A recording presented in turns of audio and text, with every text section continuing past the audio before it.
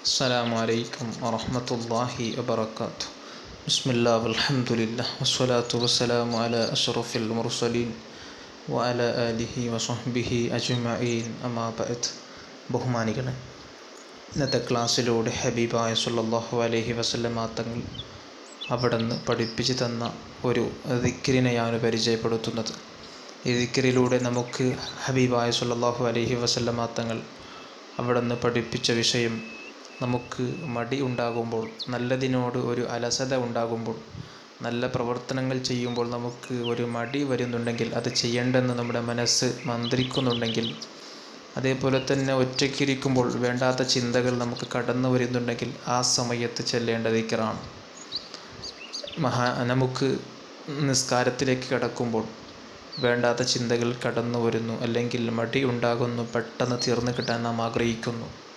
അതേപോലെ തന്നെ ദിക്ർ ചെല്ലുമ്പോൾ ഒരു മടിയാണ്. ദിക്ർ ചെല്ലണ്ടെന്ന് നമ്മുടെ മനസ്സ് മന്ത്രിക്കുന്നു. സ്വലാത്ത് ചെല്ലണ്ടെന്ന് നമ്മുടെ മനസ്സ് മന്ത്രിക്കുന്നു. ദാനധർമ്മങ്ങൾ ചെയ്യാൻ പാടില്ലെന്ന് നമ്മുടെ മനസ്സ് മന്ത്രിക്കുന്നു. അതും കുറച്ചേ കൊടുക്കുകയുള്ളൂ. നമ്മൾ കൂടുതലായി കൊടുക്കുമ്പോൾ നമ്മുടെ മനസ്സ് മന്ത്രിക്കുന്നു. കൊടുക്കണ്ട. കുറച്ചേ കൊടുക്കാൻ അല്പമേ കൊടുക്കൂ. നിനക്ക് തീർന്നു പോകുമെന്ന മനസ്സ് മന്ത്രിക്കുന്നു. ഇത്തരത്തിലുള്ള ചിന്തകൾ നമുക്ക് കടന്നു വരുന്നത് സൈത്വാനിന്റെ ഭാഗത്തു നിന്നാണ്.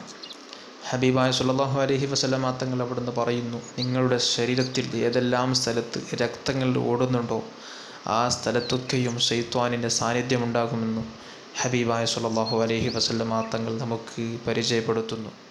ആയതിനാൽ നമ്മുടെ നമ്മുടെ ശരീരത്തിൽ ശൈത്വാൻ എപ്പോഴും വേണ്ടാത്ത ചിന്തകളെ കടത്തി വിട കടത്തിവിടുകയുള്ളൂ. അതുകൊണ്ട് നമുക്ക് ശൈത്വാനിനെ തൊട്ട് ദൂരത്താവാൻ അവന്റെ ഷെറിൽ നിന്ന് നമുക്ക് സലാമത്താവാൻ ഒരു ദിക്കർ ഹബീബായ സല്ലല്ലാഹു അലഹി വസല്ലമ തങ്ങൾ ആയിഷ റലി അള്ളാവൻഹാക്ക് പഠിപ്പിച്ചു കൊടുത്ത ഒരു ദിക്കർ ആയിഷ റലി അള്ളാവൻഹയോട് നബി സല്ലല്ലാഹു അലഹി വസല്ലമ തങ്ങൾ പറയുന്നു ആയിഷ നിനക്ക് വേണ്ടാത്ത ചിന്തകൾ കടന്നു വരുന്നുണ്ടെങ്കിൽ നല്ലതിനൊരു നല്ലതിനോട് ഒരു മടി വരുന്നുണ്ടെങ്കിൽ ആ സമയത്തെ ദിക്കർ ചെല്ലണം ആയിഷ. ആ മന്തു ബില്ലാഹി വറസൂലി ആ മന്തു ബില്ലാഹി വറസൂൽ ഈ ദിക്കർ ചൊല്ലിയാൻ നമ്മെ തൊട്ട് ശൈത്വാൻ ദൂരത്തായി കളയും. അവൻ നമ്മെ തൊട്ട് ദൂരത്തായി കളയും. അവൻ നമ്മെ തൊട്ട് ഓടിക്കളയും. ഓടി രക്ഷപ്പെടും.